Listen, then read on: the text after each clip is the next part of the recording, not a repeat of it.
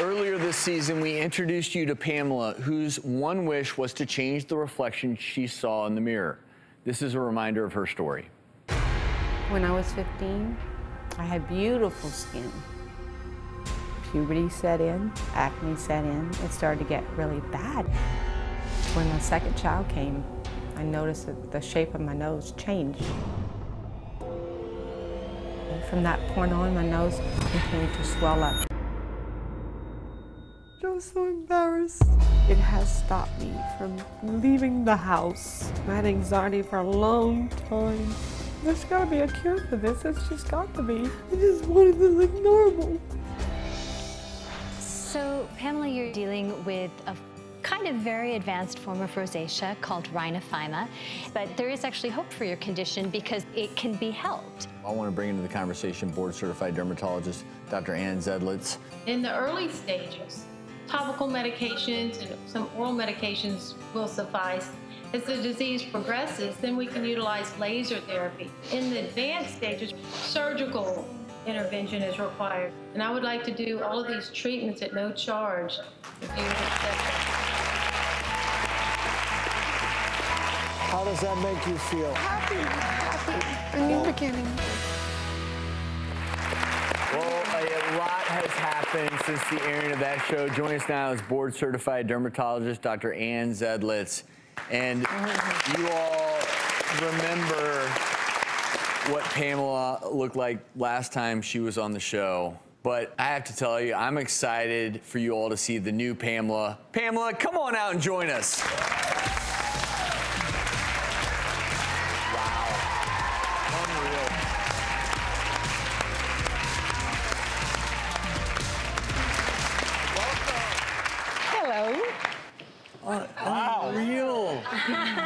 I barely recognize you because you look so great. Thank you.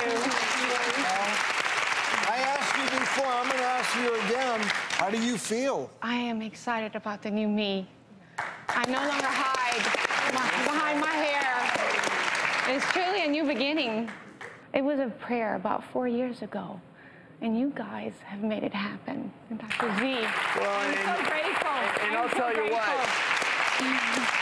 Grateful. We made the connection, but it sounds like the two of you, Dr. Zedlitz, you two have made quite the connection, and, and thank you oh. She's to a you. blessing, a blessing. Glad to do it. Walk us through the process. Tell us what you did. All right, so I broke it down into three stages. In the first stage, I'd used a CO2 laser, Lumenis C- ultra pulse CO2 laser, and we, yeah, there's some pictures, and we basically debulked at that first stage, debulked, and I used Ulthera, which is a procedure that helps tighten the skin. So that was stage one. It was a week after she was here on the program the first time. Then a month after that, she healed, and then we repeated those same processes. So I did the CO2 laser again and really finessed the edges onto the cheek and took care of some acne scarring that Pamela had, and then repeated the Ulthera treatment again to tighten the skin. A month after that, so this is the third step, we did pan revolumization, where we did fillers to revolumize the face and certain parts of acne scarring also. And we did some relaxants, some Dysport at that point in time. Then three weeks after that, we started her on some oral medications, spironolactone and isotretinoin, and those medications help dry up the oil. The isotretinoin helps dry it up permanently and helps shrink the oil glands, shrink the pore size. So she's only two weeks into that therapy, which will be six months long. So her skin's going to continue to get better. Her pore size will shrink. And I think the, the great thing about Pam, you sharing your story is the educational component because we have rarely seen a more dramatic before and after reveal because you were dealing with a medical condition that has now been treated and is going to continue to be treated.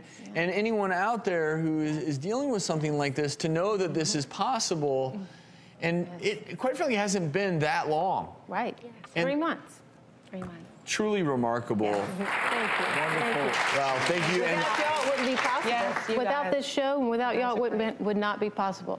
So thank you. Yes. Well, it is our honor and privilege, and it is just good to see you smiling.